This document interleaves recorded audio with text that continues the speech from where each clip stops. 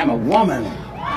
Phenomenally. I walk into a room just as cool as you please, and to a man the fellows stand or fall down on their knees. And then they swarm around me, a hive of honeybees. I say, oh, it's the fire in my eyes. It's the flash of my teeth. It's the swing in my waist. It's a joy in my feet.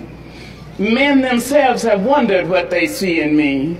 They try so much, but they can't touch my inner mystery. And when I try to show them, they say they still can't see. I say, oh, it's in the arch of my back. and now you understand just why my head's not bowed. I don't shout or jump about, I have to talk too loud. When you see me walking, it ought to make you proud. I say it's in the click of my heels, the bend of my hair, the palms of my hands, the need for my care, because I'm a woman.